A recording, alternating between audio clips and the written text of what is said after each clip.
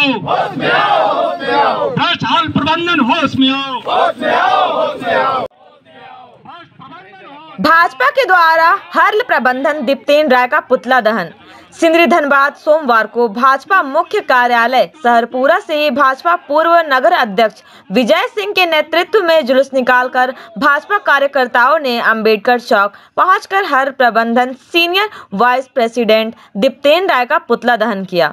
केंद्र में भाजपा की सरकार धनबाद में सांसद भाजपा, पशुपतिनाथ सिंह सिंधरी विधायक भाजपा इंद्रजीत महतो को हर द्वारा रोड़ा वन पानी टंकी के अंदर बनाए गए ओपीडी सेंटर के उद्घाटन में ना बुलाकर बेजती की है। प्रधानमंत्री ड्रीम हर्ल प्रोजेक्ट लगाया जा रहा है। हर्ल प्रबंधन सिंदरी वासियों के साथ ज़्यादातर ज्यादती कर रही है। हर्ल प्रबंधन के द्वारा पत्रकारों को ना बुलाकर भ्रष्टाचार का प्रदर्शन ना हो, इसके लिए नहीं बुलाया। जुलूस में हाल प्रबंधन, होश में आओ, दलालों की दलाली नहीं चलेगी। विक्रांत कुमार, होश में आओ, के गगन भेदी नारे लगाए गए।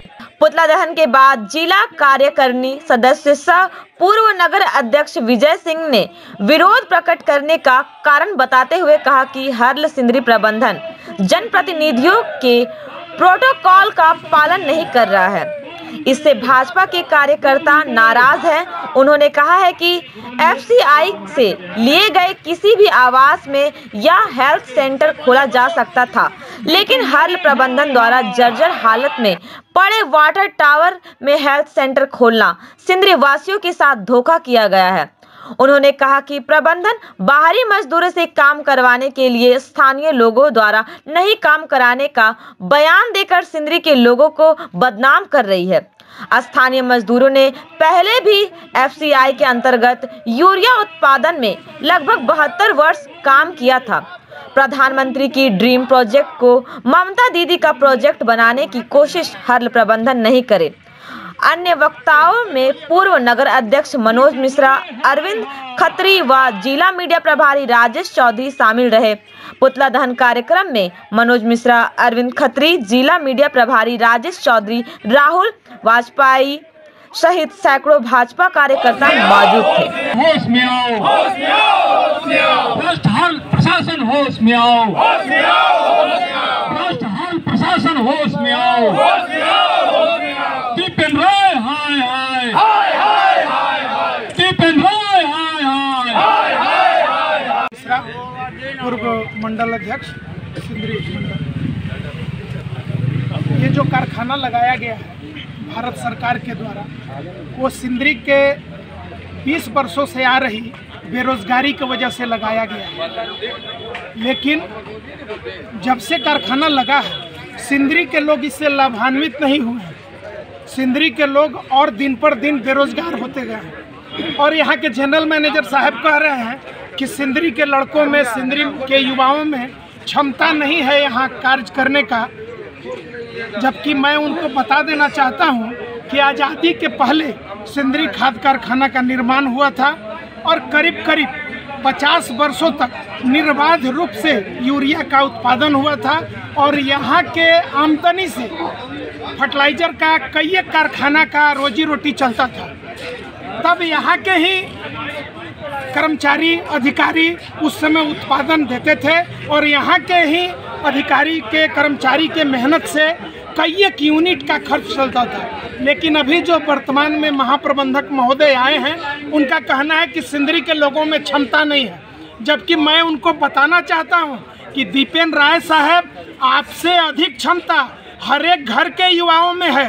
सिंदरी के लड़का पूरे देश में बल्कि पूरे विश्व में छाए हुए हैं। सिंदरी में आईएएस नहीं है कि आईपीएस नहीं है कि सिंदरी में लोग महाप्रबंधक नहीं हुए हैं। सिंदरी में बहुत अधिक क्षमता है। आप इस क्षमता को देख करके तो रखिए, परखिए तो।